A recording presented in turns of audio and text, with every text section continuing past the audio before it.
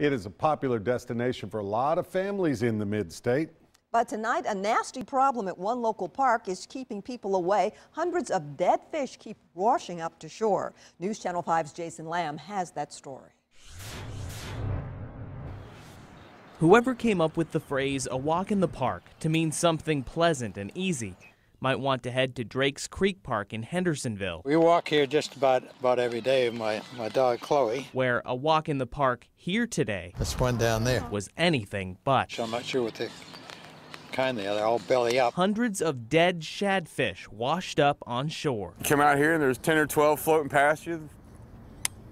The creek bed right there on the sides full of dead fish. Some in the water were still struggling to survive.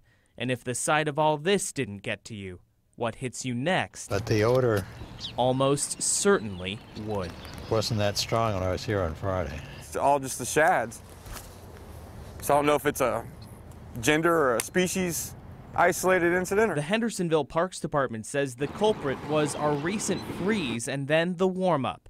They say the cold temps froze part of the creek, cutting off oxygen to the sensitive fish below. It all leaves folks here with a choice to stay I mean, I know I'm not going to catch anything, but I can tune up my stuff. or try for a walk in the park somewhere else. Probably won't be walking here much longer. We'll go to another park. The Hendersonville Parks Department says they're working on getting the mess cleaned up here later this week. Reporting in Hendersonville, Jason Lamb, News Channel 5 HD.